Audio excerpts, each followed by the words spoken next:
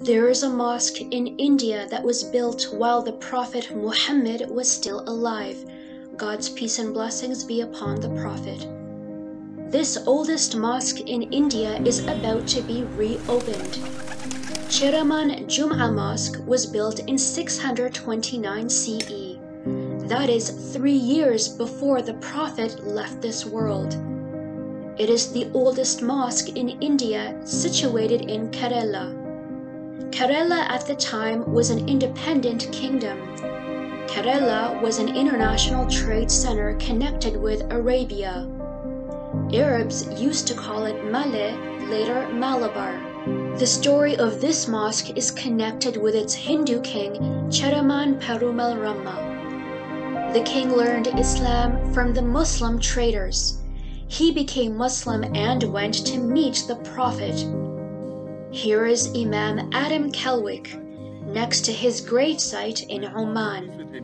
He became one of the companions of the Messenger وسلم, who sat with the Prophet وسلم, who talked with the Prophet وسلم, who ate with the Prophet وسلم, and we have very little reference to this story in the Sahih Ahadith. However, there is one mention in uh, mentioned by Al-Bukhari uh, which this Indian king visits Al Medina and he gifts the Prophet ﷺ some pickled ginger, which is one of the specialities, even till this day, of the people of Kerala.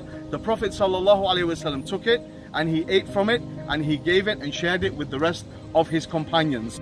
While returning from his trip back to India, he passed away in Salalah Oman. May Allah be pleased with him. This is his grave. The rest of the party continued their journey back to Kerala with his letters. It is said among them was Malik bin Dinar. May Allah be pleased with him. He built this mosque with the help of other Muslims. It was the first mosque of Kerala and one of the oldest mosques in the world.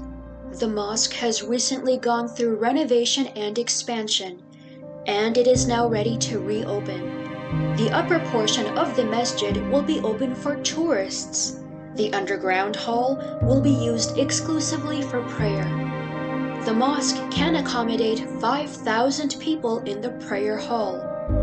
Besides the old structure, an Islamic Heritage Museum is also on site.